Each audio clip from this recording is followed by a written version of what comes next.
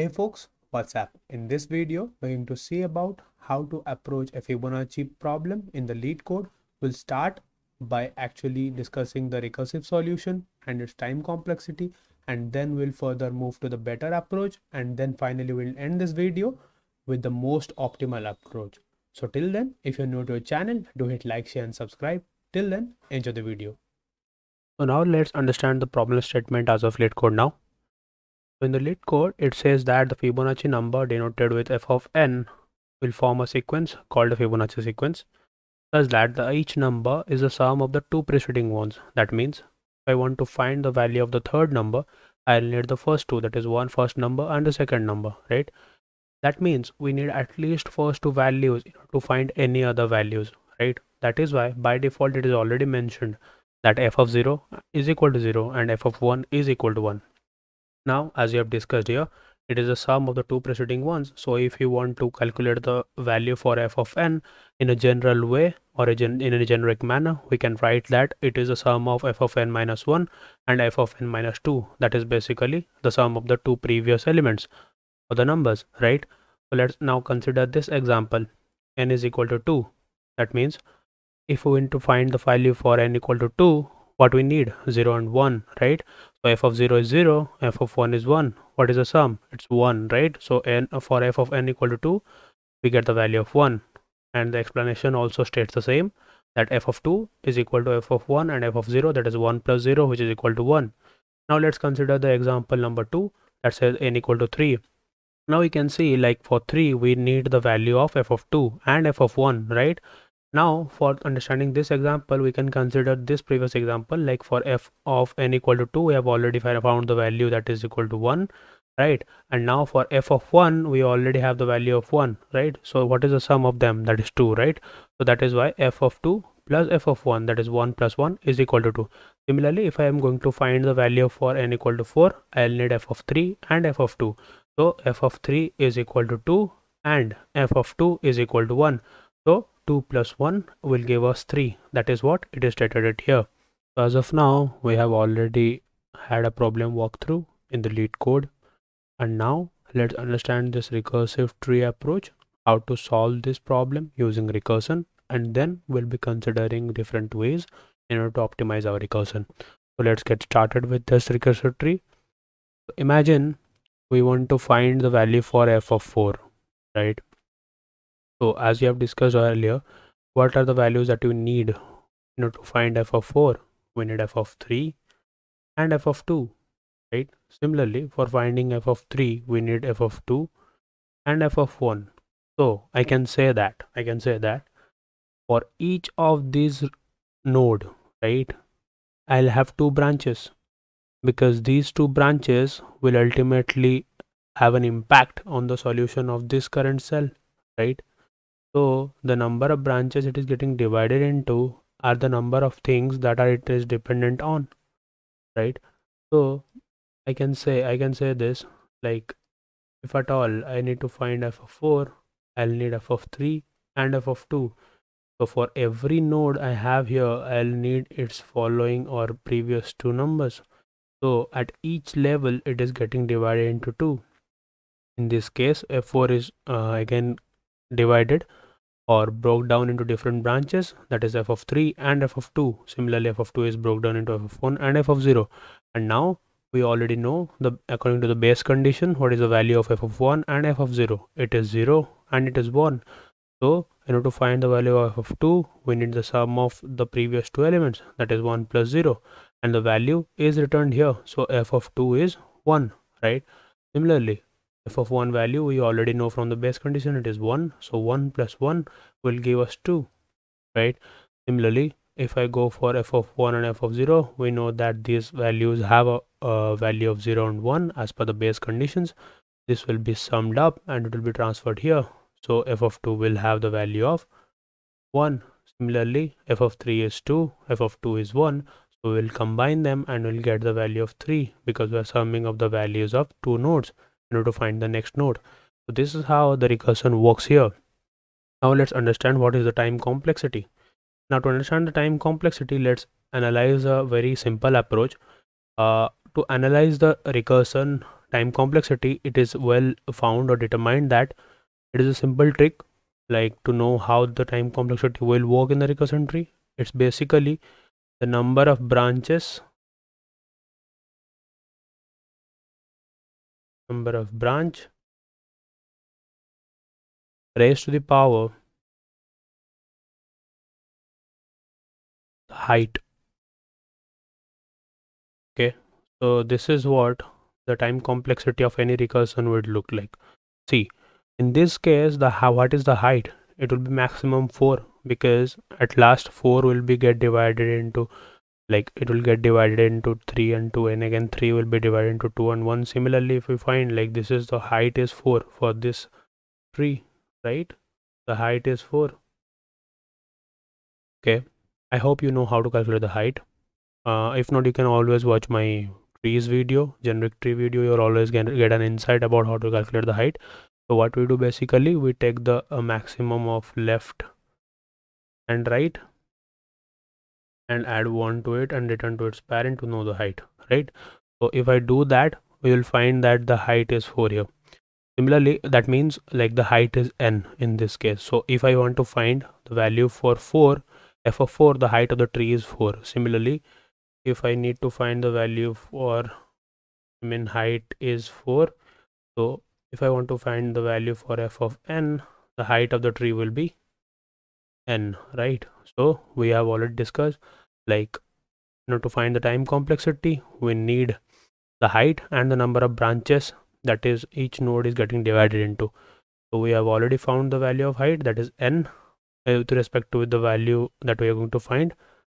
And now the number of branches here is 2 because each time we are dependent upon the previous two and we are dividing each cell into its uh, recursively into its two subsequent previous cells and further it is getting re recursively called again and again. So each time we are actually dividing each of these nodes into two different branches. So the number of branches at each node is 2 right?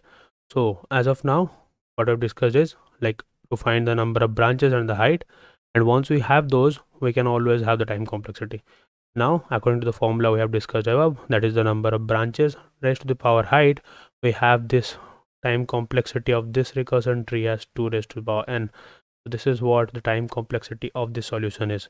Now let's go over to the recursive solution in the LeetCode and try to implement this approach and solve them. Now we have already discussed like how the recursive calls are being made and how we can draw the recursive tree and how we can also estimate the time complexity of this uh, recursive approach.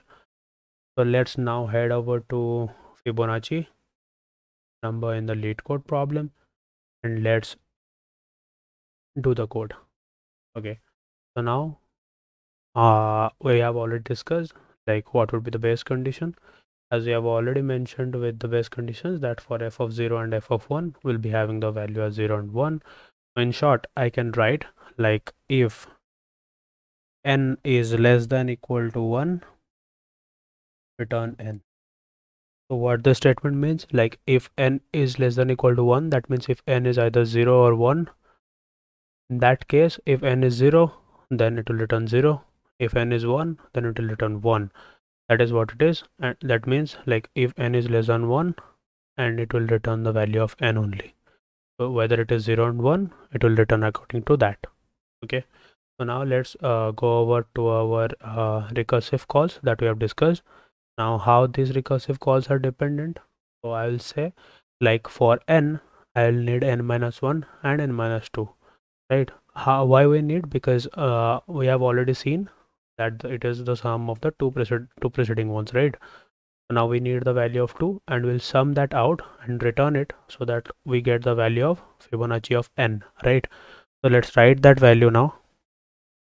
I'll write return fib of n minus 2 plus fib of n minus 1 and this is what will give me the value of f of n right? Because the sum of the of last two numbers will give out the value for fib of n. So let's see for run. Go and hit run. Now you can see all the three cases are passed. Now if i'll hit on submit let's see what happens. Has taken it. It is accepted now but this isn't the optimized way right? We are only doing the recursive approach calls and we are only writing the recursive solution. But as we have already discussed the time complexity of this is 2 raised to power n because the branches each time we are getting 2 and the height may go up to n right?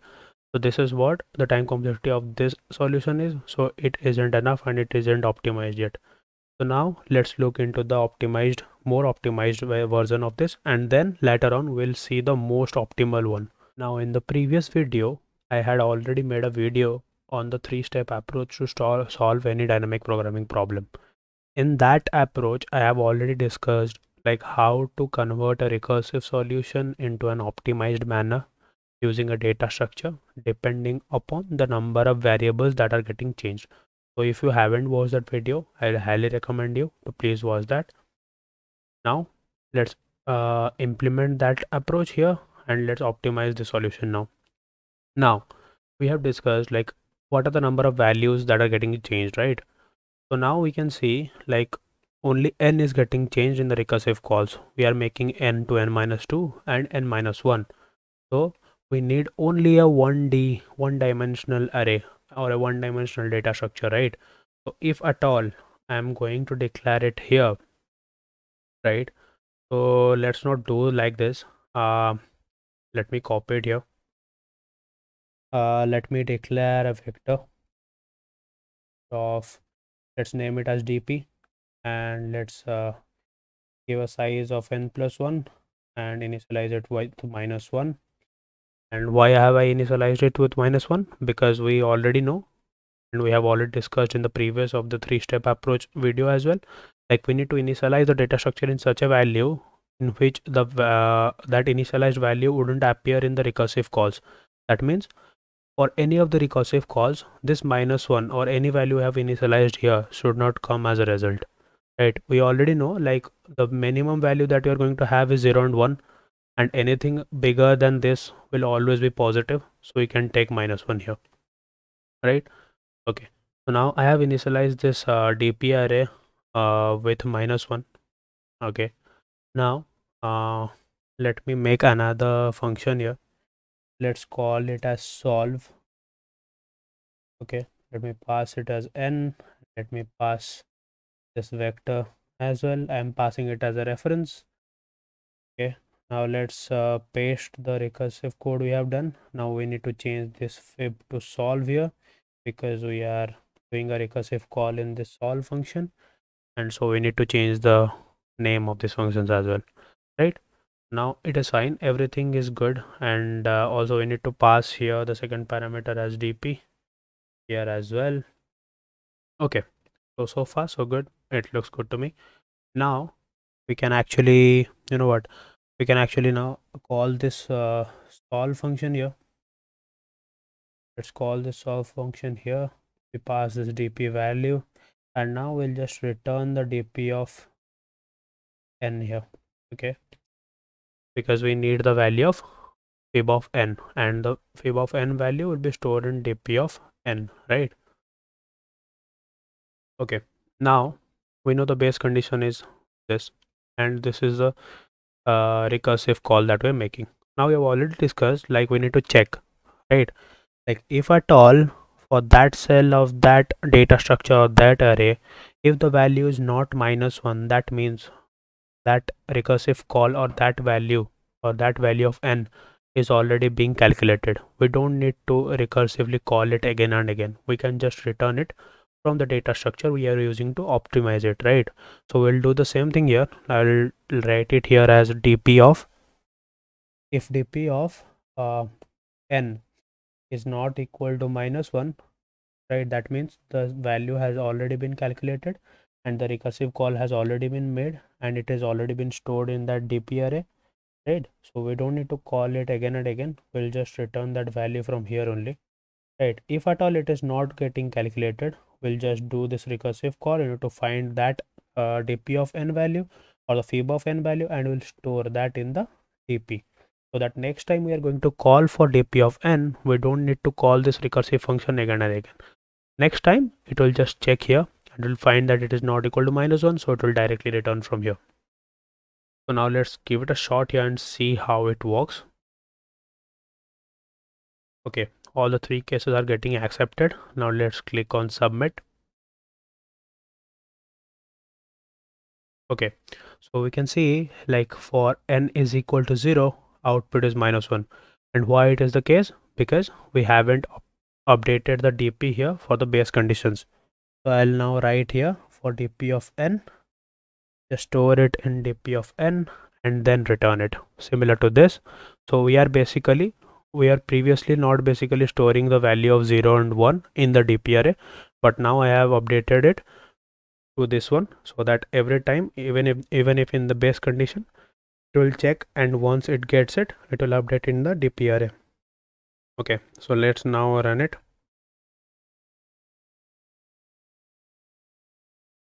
Okay let's now submit it. I think this should work. Yeah yeah it does it does yeah you can see beats 100% because it is all optimized. Now we have already you know like did a great optimization here but uh, the problem is it is not still the optimal way. Now here the time complexity is n. Why it is n? Because previously in the recursive solution we were calculating for each cell two times. Like there were two branches so we are recursively calling for each of its predecessors. Like for n we're calculating for n minus 1 and n minus 2 and recursively it is getting calculated for every cell even if it was calculated earlier. But now in this case you can see like the value of any of this n value is only calculated once not twice. So there is no two branches that is forming for each recursive calls that means like if at all i have a value for f of n to uh, calculate i'll only have to call f of n minus 1 and f of n minus 2 once in the entire recursive call or recursive tree right? We don't need to calculate that particular recursion function again and again. That means for each value like let's say for dp of 0 or dp of 1 or dp of 2 or let's say up to dp of n we are calculating only one function the whole entire recursive function call. That means the time complexity is n and as the branching is not there so there is no exponential form here in the time complexity. Thus we have a more optimized way of the previous solution. And now we have the time complexity of n. Now this isn't enough. Why? Because it is using an extra space of n right? Big O of n. Now we need to reduce that and we need to take it back to big of 1 so as to have the most optimal way so now let's see into the solution where we can have actually the time complexity as big of n and extra space as a constant that is big of 1. Now, before directly going into the coding of the solution, let's understand. The previous optimal approach, we have used array, 1D array, where we stored the value. Now let's think, do we actually need this entire array?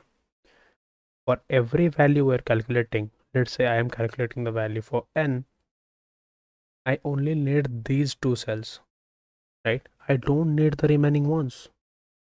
But even if our value is let's say 100 we are storing or making an array of 100 even we, if we don't need the previous 97th one. What i mean by that is like for calculating n we only need n minus 1 and n minus 2 right? We are just ignoring all the values from 0 up till n minus 2 right? We don't need that.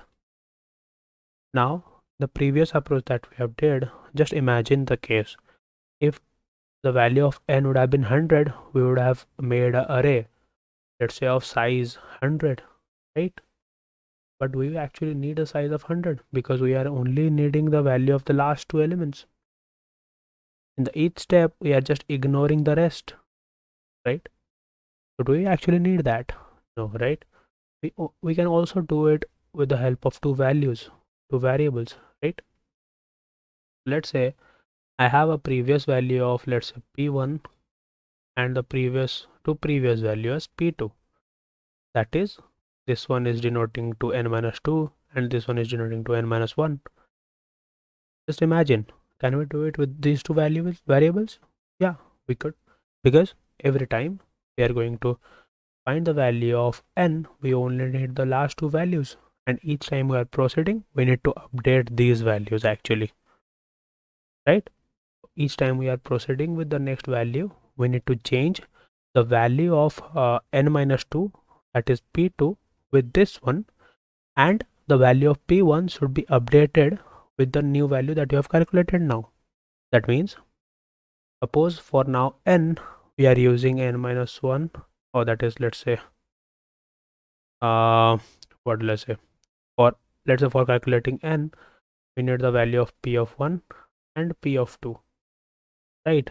Once we have calculated the value of p of 1 and p of 2 let's say now we also want to calculate the value for n plus 1 now using these two variables how can you do that? Now see for calculating n plus 1 we need nth value and the previous one value. Now the previous one value is p1 right? Now how to use these two values in order to get this value? Now what you can do is we can store the value of n minus 1 in the n minus 2th variable that is p2 like p1's value will be stored in p2 and n's value will be stored in p1 so in this uh, by doing this we can ensure that the value of n is stored in p1 and the value of n minus 1 is stored in p2 and see that we need n and n minus 1 in order to get the value for n plus 1 right? Because these are the most recent consecutive number. Previous to n plus 1 the numbers that we need and the sum of the number that we need in order to get the value for n plus 1 right? This way we can just transfer the value of p1 to p2 and the value of newly calculated n to p1 in order to ensure to, to get the value for the next value right? Okay.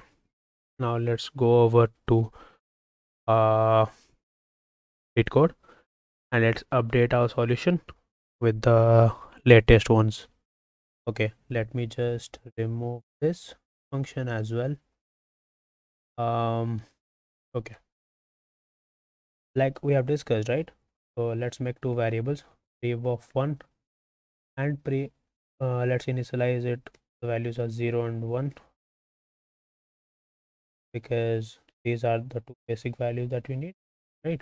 Let's also write a condition here like if n is less than equal to 1 we can return just n here first to just uh, you know just to manage the initial conditions for 0 and 1 now we have the value of prev 1 as 0 and prev 2 as 1 right?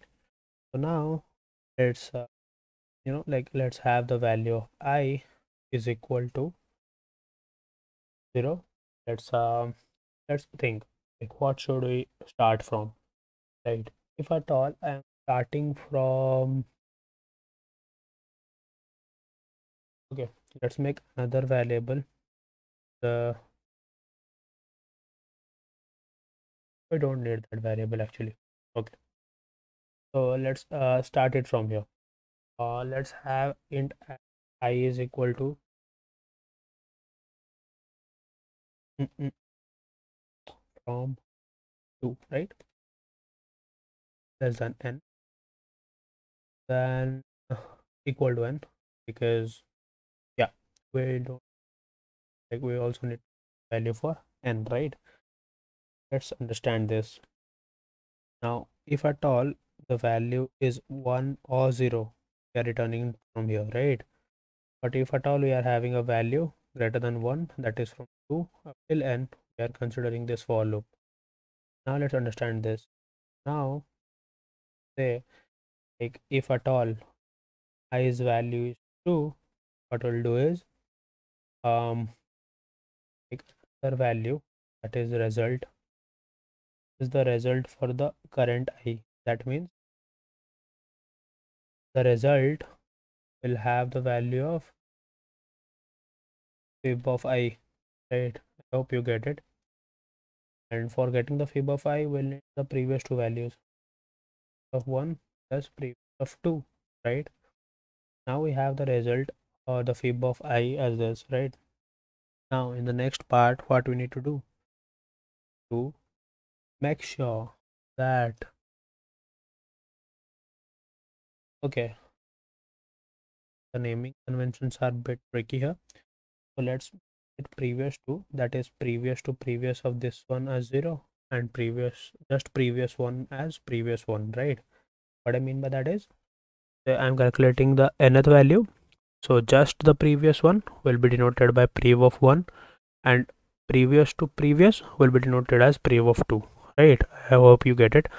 Now let's uh, make the changes and update the values prev 2 and prev 1 so now let's make prev 2 updated with prev 1 let's make one updated with the result. Why? Because we need the last recent two values right? So every time we are updating we are just going in this loop and we are each time we are calculating the result of the fib of i and we are just returning it. Now imagine if at all we have reached the i value of n in the same case we'll be calculating the value of these two right? We'll be updating prev 2 with prev 1 and prev 1 with the latest result. Now let's imagine and say what should it return? We should return prev 1 you know why? Because at the end of n we are storing the final result in prev 1 and after that this loop will get a uh, you know like uh, get completed. And this the code flow will get out of this block this for uh, for loop block. And it will come here. So here we need to just return save of one. Right? So run it here i hope uh, you have understood it. And it is saying it is accepted. Let's go let's go for submit. Let's see whether it works or not. I think it should. Yeah it does. Okay. Yeah it worked fine. Don't go for this uh, beat 65 percent. It's just so randomly because this is the most optimal one because this is indirectly or directly it is taking the value time complexity as n because we are only iterating once that is up to n right? So it is taking a time complexity of n and the space complexity is constant because we are not using any array or any other data structure. We are only using the variables and to store the most recent value and calculate the next value. So in that case the space complexity is big of 1 I hope you enjoyed the content. This was it for this video. I'll see you in the next video. Till then, stay safe, stay tuned.